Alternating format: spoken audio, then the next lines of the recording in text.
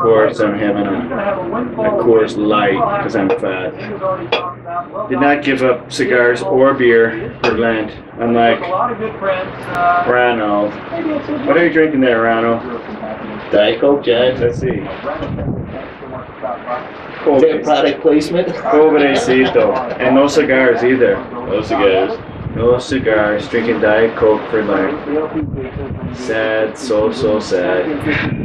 And watching golf on TV, we're gonna watch golf for a little while, and then my sister's coming home, and we're gonna go to Las Vigas Steakhouse. Mmm, yummy. A really good steakhouse. Still quit smoking. And Tiger Woods one of 12 players to be ranked number one in the world ranking. So is Bernhard Langer, whom you can see in 12 minutes on I'm not smoking at work. Some people have will. Toshiba Classic. That's Jay. it. Jay, somebody I'll tell you some what. people have very strong minds. Let me tell you. Let me tell you a little secret about that that you're gonna enjoy.